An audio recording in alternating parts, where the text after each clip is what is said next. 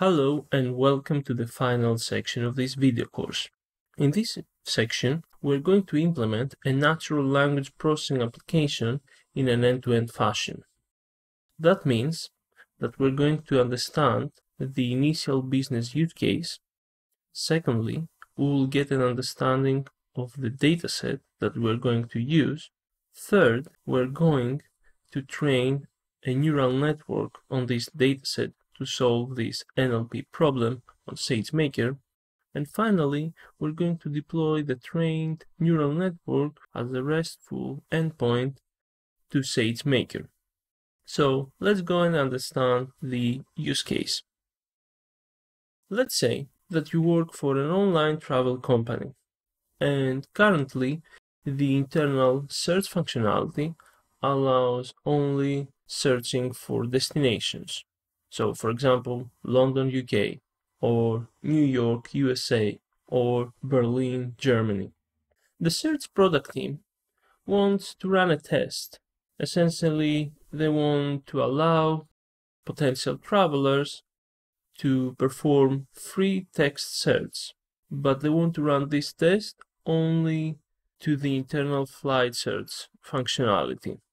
So, for example, they want to allow users to search for show flights from Boston to New York today or show flights from Austin to Seattle tomorrow morning instead of having to specify the departure destination, arrival destination, dates, etc. etc. So we're going to use the ATIS dataset the Airline Travel Information Systems named Entity Recognition Dataset. This dataset consists of various queries, lots of queries from people that participated in a research project called ATIS. So you can see here an example of a query, so flights from Boston to New York today.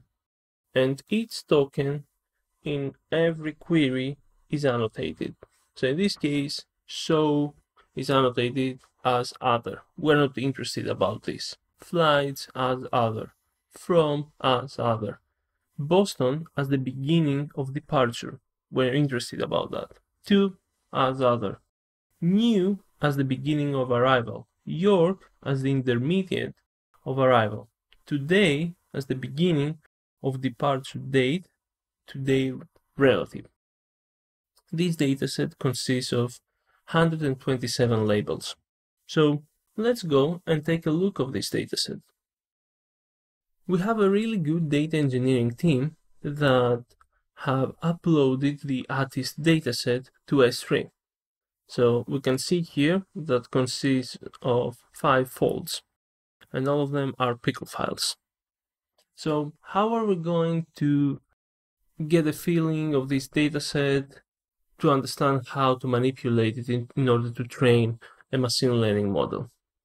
Here comes SageMaker, and more specifically, the notebooks that SageMaker provides.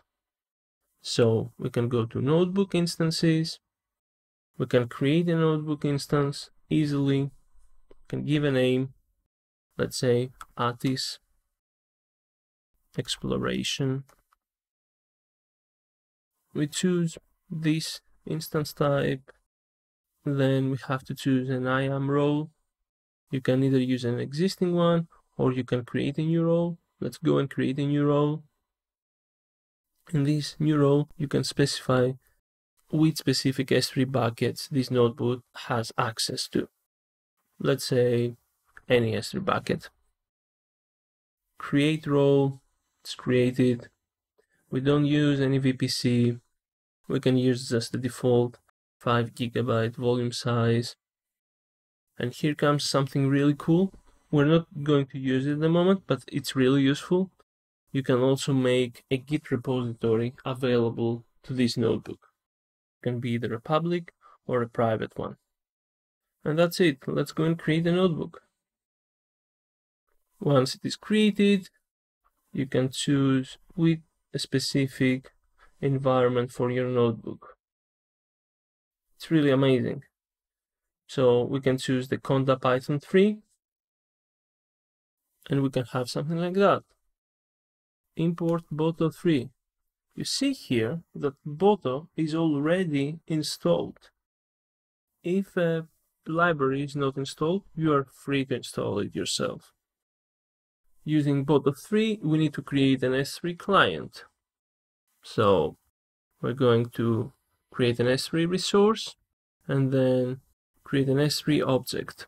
The ATIS data is essentially the bucket name. As we see here bucket name ATIS data and then the key just the first fold atis.fold0.pkl then we read the content as bytes we import pickle and then we load the bytes using pickle according to the ATIS documentation we should use the Latin 1 encoding. I have attached the link to the ATIS documentation into the slides. So then this ATIS fold zero variable consists of four other variables, the train set, the valid set, test set, and some dictionaries. Consists of three internal dictionaries. Labels to index, tables to index and words to index. We're interested about the first and the last one. From the labels to index, we can see how many classes this dataset consists of. 127. And then we need to do is to show you the labels. So we're going to iterate over the keys of the labels and I'm going to sort them. So we see here other beginning of aircraft code, beginning of airline code, beginning of airline name, beginning of arrive time, period of day, beginning of city name, intermediate of city name, so many classes. And then from the train set, we're interested about two things, the train X and the train label. So we just took the fourth example from the training dataset. We see here that can't essentially see the query, the human readable query, but just some indexes, some IDs. So in order to translate from the IDs to words, we need to create an index to word dictionary, essentially the opposite from words to index. So given that, we can see the human readable query, which is show me the cheapest round trips from Dallas to Baltimore. Then we want to see what are the labels for each token. Again, we only see the IDs of each label, so we need again to get the inverse dictionary of labels to index, which is going to be index to label and then we see the labels of each token. So the token show has the label O, the same for me. The token cheapest has the label B cost relative. Round is the beginning of round trip. Trips, the intermediate of round trip, from O other, Dallas, the beginning from location city name, to other Baltimore beginning to location city name. That's really cool.